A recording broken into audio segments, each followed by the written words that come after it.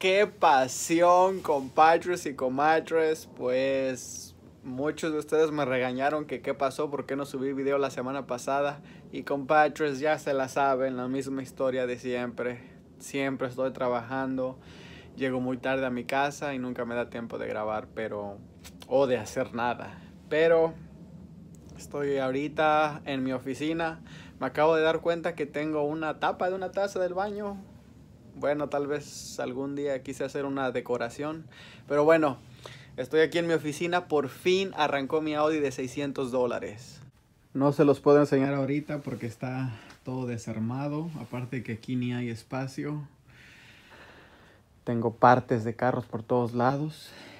Pero bueno, este Audi no sé si me costó 600 dólares o 650. Posiblemente ustedes se van a acordar mejor que yo si es que vieron el video cuando recién lo acaba de comprar. Y bueno, es el mismo motor V6 a 2.7 biturbo. Y este motor, este carro cuando lo compré no arrancaba. Y había días que tenía tiempo, entonces venía en las tardes y estaba aquí como una hora o dos horas revisando todo, qué pasaba. Yo creo que vine aquí como unas cinco veces o a lo mejor más de cinco veces, como de una hora a dos horas cada vez. Entonces le desarmé todo esto. Esto está flojo, como pueden ver. Lo primero que chequé fue, me quería asegurar que la banda del tiempo no se había roto. Banda del tiempo o correa del tiempo, no sé cómo le digan ustedes. Estaba bien la gasolina que tuviera presión.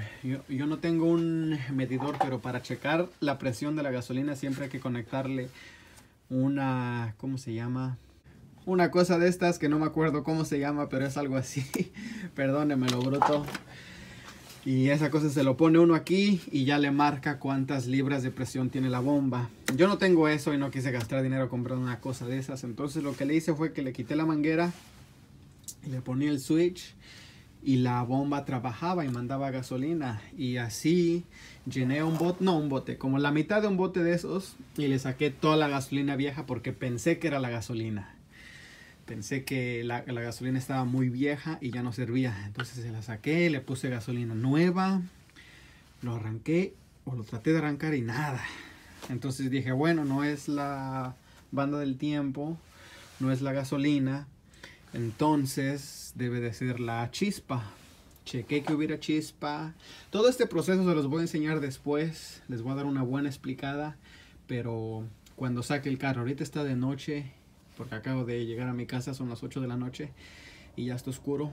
Uh, cuando tenga un poquito más de tiempo, me tienen que tener paciencia, por favor, compatriots. Voy a sacar el coche y les voy a explicar exactamente todo lo que hice, qué herramientas necesitan para cuando ustedes tengan un problema así, que no arranque el carro. Pero bueno, eso es lo que hay que checarle. La banda del tiempo, gasolina, chispa, a que no hubiera ningún corto. También este sensor mide el aire que entra para que haya una mezcla correcta entre aire y gasolina. Pensé que era eso, le, le puse el del otro Audi y nada. Pensé que los sensores del oxígeno tenían algún corto, los revisé, nada. Pensé que este, ¿cómo se llama? Hay, hay unos carros que cuando el, ¿cómo se llama? El sensor de la temperatura se daña, el carro no arranca porque el carro piensa que está sobrecalentado. Entonces le iba a cambiar el sensor de la temperatura que está ahí abajo. Tiene uno ahí abajo, tiene otro ahí atrás y otro aquí atrás. Pero dije, no creo que sea eso. Entonces, lo que hice, lo que hice fue que le cambié este sensor, que este es el este sensor aquí se llama el sensor del crankshaft. Creo que este es conocido como el sensor del cigüeñal. Corríjanme si estoy equivocado. Le cambié ese sensor porque estos carros, si ese sensor no le manda la señal, entonces el carro no manda gasolina porque el carro, aunque, aunque el motor esté girando, como no, no registra las revoluciones, el carro piensa que no está girando el motor y no le manda gasolina. Entonces le cambié eso, que ese me costó bastante trabajo, porque es un sensor sin vergüenza, como los que siempre nos tocan a nosotros, no sé por qué. y nada. Dije, bueno, entonces aquí a lo mejor hay algo, algún tipo de problema con la computadora. Ya esto es muy difícil que pase porque esto es una parte que solo se quema a menos que haya un corto en el carro o que le entre agua. Pero dije, bueno, como pueden ver aquí tengo estas partes. Le cambié este fusible, le cambié este relay de otro carro, más o menos igual, que ni siquiera era el mismo. Pero bueno, se lo cambié. Nada.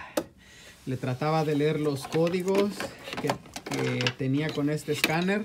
Que mucha gente, muchos de ustedes me han preguntado que haga un video acerca de esto. Y claro que sí lo voy a hacer. Solamente que téngame paciencia, por favor, como al chavo del 8. Porque Siempre ando trabajando y trabajando y trabajando. Y nunca me da tiempo de dedicarles a ustedes, que les pido mil disculpas. Pero bueno, entonces me di cuenta que aquí hay un poco de agua. No sé si puedan ver. Bueno, no pueden ver porque está todo oscuro. Pero ya vieron. Ya vieron, ahí hay agua. Entonces dije, bueno, a lo mejor esta parte la tengo que cambiar. El problema es que con estos carros hay que cambiar esto. Hay que cambiar la llave y hay que cambiar el velocímetro donde uno le, le dice a qué velocidad va porque todos la llave tiene un chip y ese chip tiene que cerrar un circuito con la computadora y con el velocímetro. Entonces esto se quedaba un poco como se dice esto era casi imposible porque es muy difícil encontrar una computadora eh, la llave y no solo la llave, sino a, donde uno mete la llave, ahí hay un sensor que lee la información que tiene el chip en la llave. Y también el velocímetro. Entonces dije, esperemos que no sea eso porque quién sabe de dónde voy a sacar todas esas partes. Pero bueno. Entonces, ya que había checado todo esto, dije, bueno, pero ¿qué pasa? Entonces, ¿será que estoy perdiendo mis habilidades para arreglar carros chatarras sin vergüenzas o qué pasa? Pues me viene al interior el interior aquí. Pero aquí parece que voy a necesitar una luz. Denme un minuto y aparezco con una luz ahorita. Increíble la magia de YouTube. Ya tengo luz. Pues bueno, le quité el asiento. como pueden ver es ese asiento que está allá. Y estos carros traen unos módulos aquí abajo. Chequense este módulo.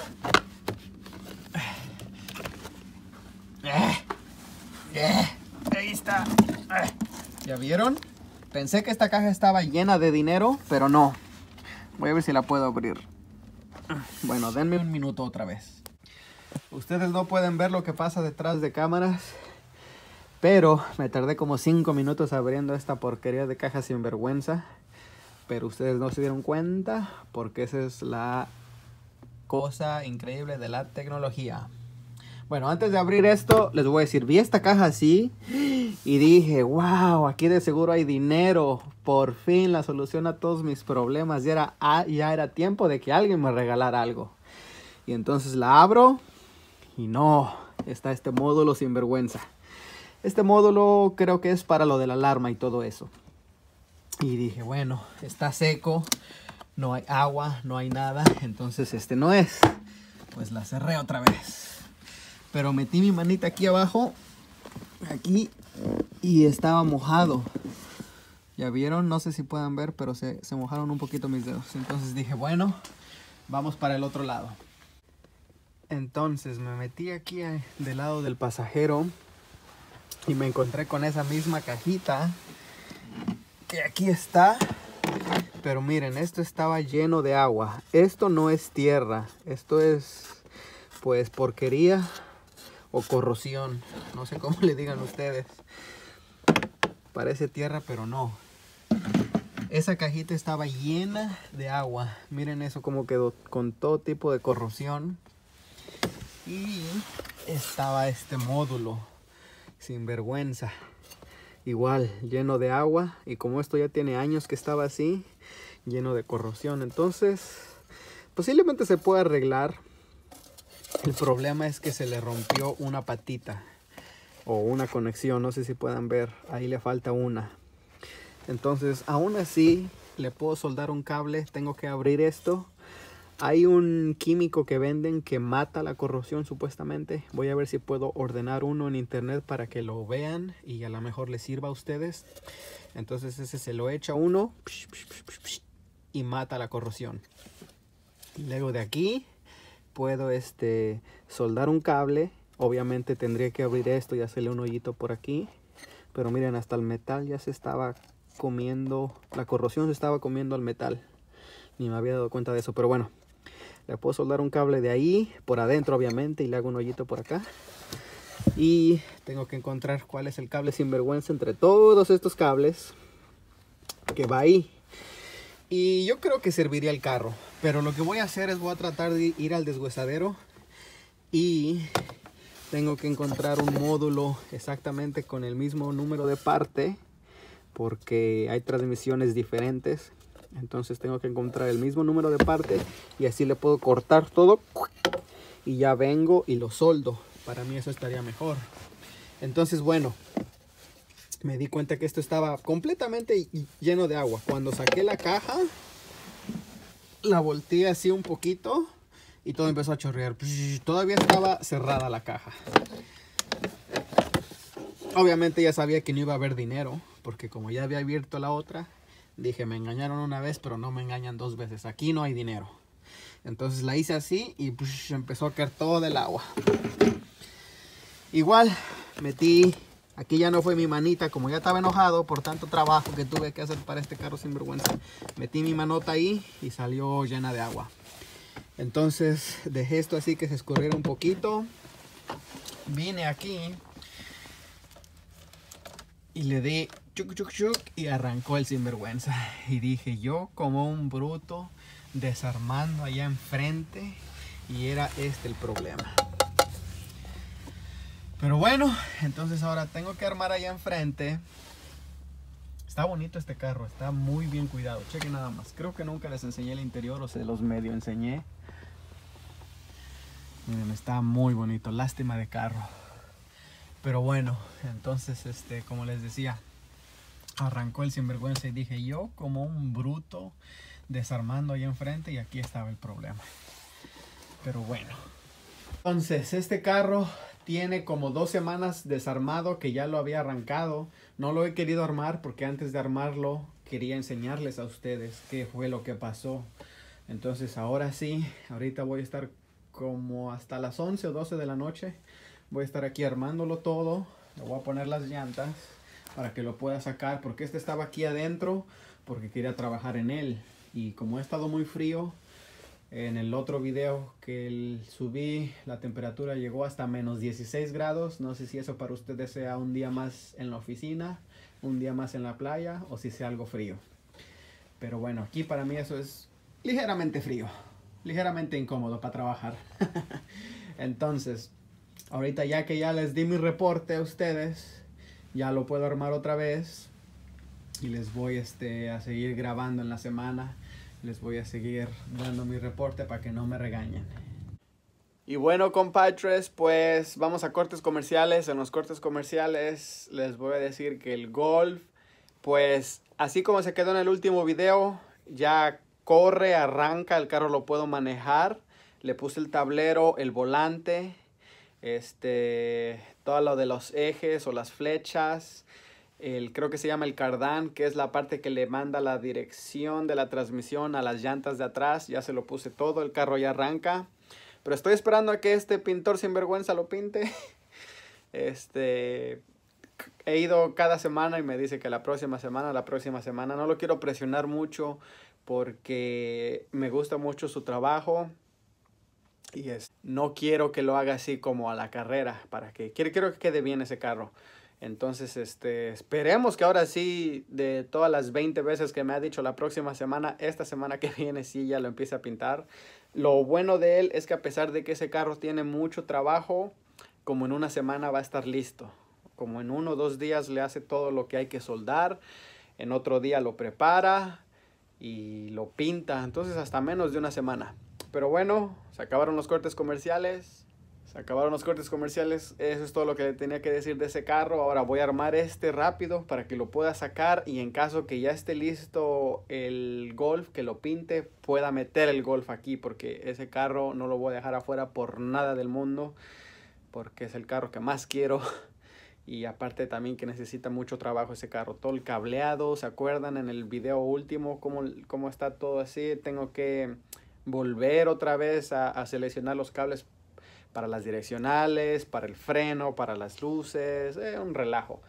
Pero bueno, compadres, eh, perdón que no les había grabado la semana pasada, pero yo trabajo de lunes a domingo todos los días y llego a las 7, a las 8 de la noche y cuando llego como, veo mi novela y este ya no me da tiempo de trabajar aquí en los carros. Vengo, pero vengo como a las 9 y de aquí me estoy como hasta las 11, como a las 12, un ratito solamente, que es lo que voy a hacer ahorita. Pero entonces ya este carro ya arranca, este carro prácticamente está listo, solamente lo armo, tengo que ir al desgozadero por esa parte y este ya va a rodar las calles este carro por fin y el Golf. Igual no lo quiero o no lo quise presionar mucho al señor pintor porque sabía que tenía este carro aquí en mi cochera. De todos modos no, no tenía el espacio para traer el Golf porque este carro no arrancaba. Ahorita sí arranca. Ya puedo traer el Golf aquí y tampoco no lo quería presionar porque él me prestó el lugar para cuando le cambié el motor al Golf.